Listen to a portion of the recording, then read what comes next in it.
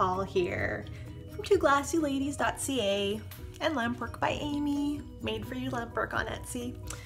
Today I'm going to talk to you about Val Cox Chapel Window. This is a frit blend that's kind of a mix of mostly transparent colors. There's a couple of opaque ones in there too, I think.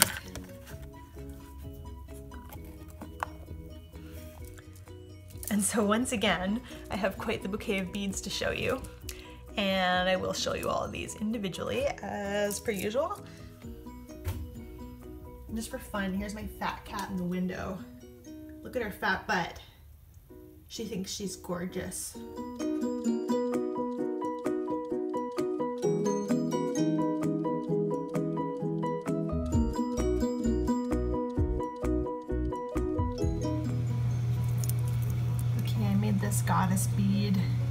Using um, Val Cox Chapel Window and Kugler K100 leaded clear.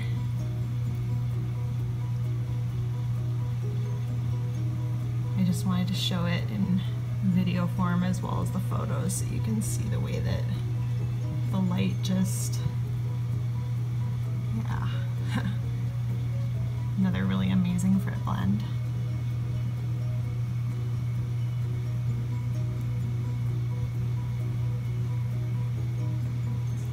She has a bass clef on her because I'm going to give this to my cello teacher as an end of year gift.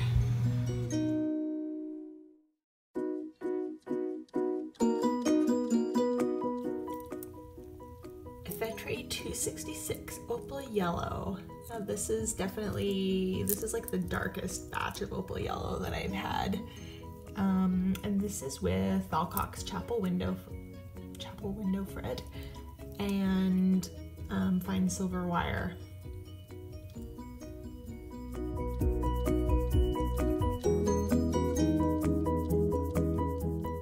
Okay, and here we have um, number 955, Seashell Swirl Special Odd with Val Cox Chapel Window. So yeah, again, um, all of these glasses, apart from the Kugler K100 that I use for clear for encasing, um, they are 104 COE glasses and the frit blends are 96 COE, but I generally do not have compatibility problems and when I do, I let you know about them. Um, but yeah, this blend I haven't had any I think it's about, there's kind of like, I think it's like a 5% rule or a 10% rule. You can mix those COEs so long as you don't use too much frit on your bead.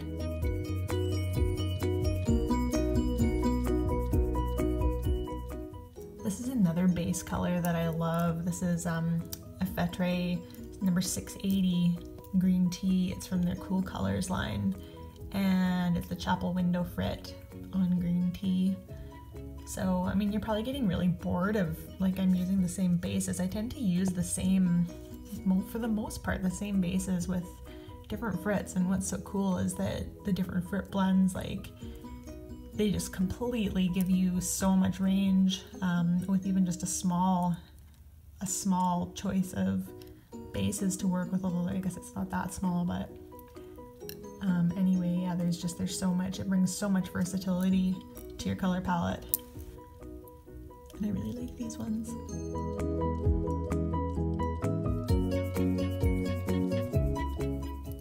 Another standard go-to is just plain old white as a base. This is Effetre 204 pastel white with Val Cox Chapel window. Again, this is a 104 COE base glass with frit. Got no compatibility problems.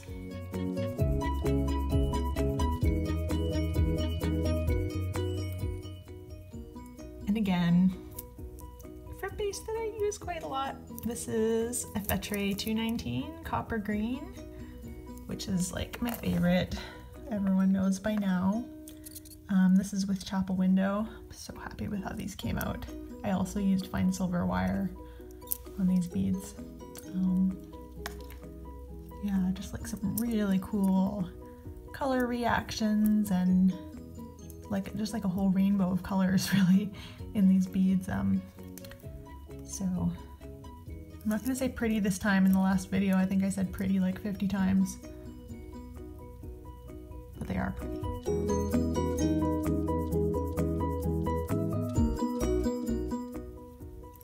And another one of my go-to base glasses for frits is Effetre 038, which is pale aqua. The reason I really like this, I mean, it's almost like putting the frit on clear, but it gives it just a little bit, just a little bit more. Um, I just like the, the blue tinge that it gives to it, I guess. Um, and again, this is Chapel Window Frit from Val Cox.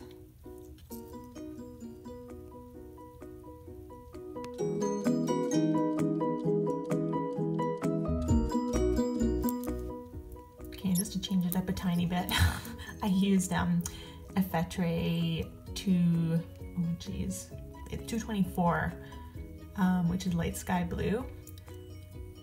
Now, light sky blue is sort of a similar color to 232, which is the pastel turquoise that I usually use as a frit base, but it's just slightly softer and reacts a little bit less. So um, yeah, I just decided to do some beads with that one just to just to mix it up a little bit. Chapel window actually did look really nice on 232 as well. It looks quite similar to this, so it's not not a huge difference in this case.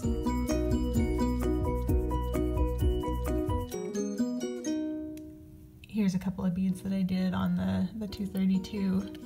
Um, yeah, you can see it's a little bit darker. Um,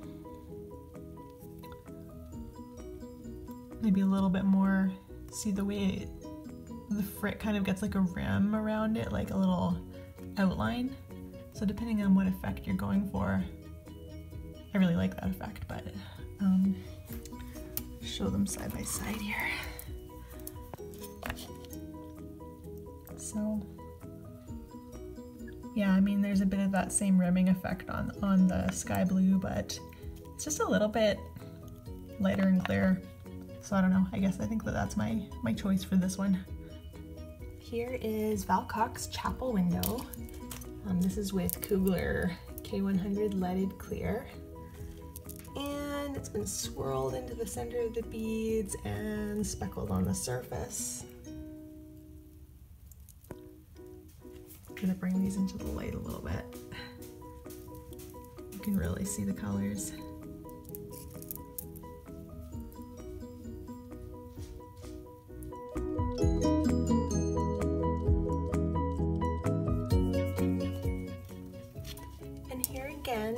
Chapel window in Kugler K100. This time it's just swirled in the center of the glass and then encased. It's a really nice light coming in today, so I'm using it to show just like how much this, it almost sparkles. A very cool blend.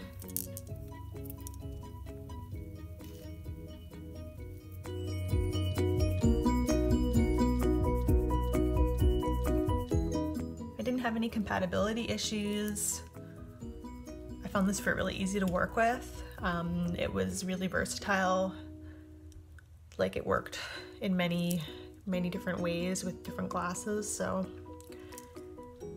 um, yeah, that's pretty much it. Here they are.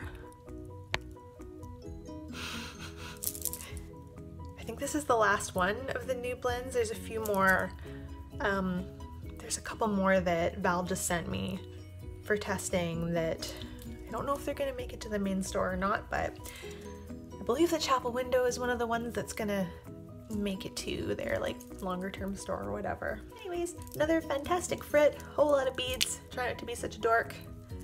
Can't always help it. So here's a few of the other ones that I have to test. Um, and some of these are just like the fine grind of um, I think that they're just single colors, which these can be really good for adding color to things. Um, yeah, I'm not sure actually which of these. I think that a lot of these are just the single colors. And then there's a couple more blends. We got Violet Peacock, Tawny White, Pink taffy, and, and iron oxide. So that's what we have to look forward to. I might not do quite as much extensive testing on these, but we'll see.